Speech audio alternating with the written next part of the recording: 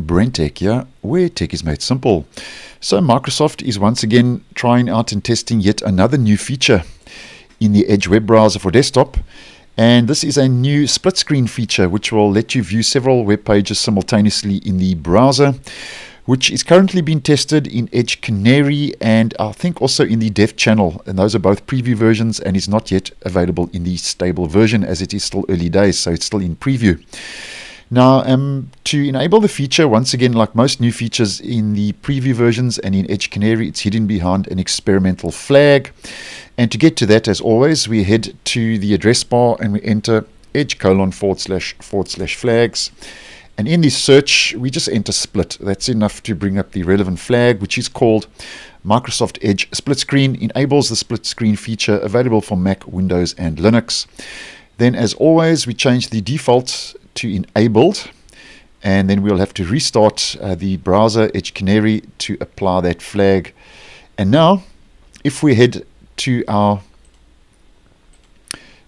settings menu and we click on appearance, on the appearance page, we now get a new split screen button shortcut that can be placed in the uh, the toolbar in the top right of the browser. So to enable that, we just toggle that on.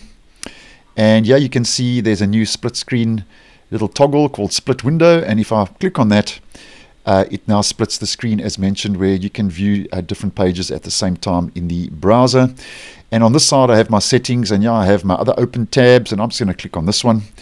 And you can also resize. So I can drag that any way I want. So I can drag that to the left, to the right, depending on my own personal choice and preference how I want to view those web pages simultaneously.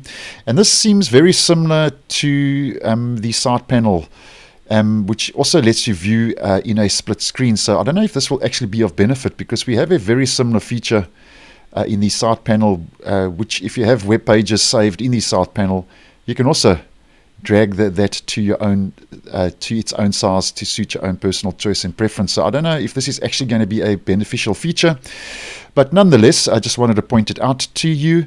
And yeah, you also get some options uh, in that split screen. If we click on these toggles, um, you can switch between different uh, modes. So open link in the current tab, open link from left to right. If you click on the three dotted menu, open screen in new tab, view split screen pages in two tabs, and we can obviously close that out as well. So that's just, and if we toggle that off, it just pops everything back to how it was in one window. And if we click on it again, uh, we can then click on that open tab and then we can view those windows simultaneously.